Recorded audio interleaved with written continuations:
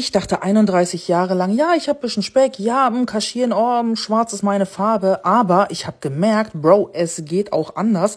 Aktuell befinde ich mich irgendwie in einer Entwicklung, ich weiß nicht, wohin sie geht. Falls du auch ein bisschen lost bist, was deinen Style angeht, folg mir, vielleicht lernen wir zusammen.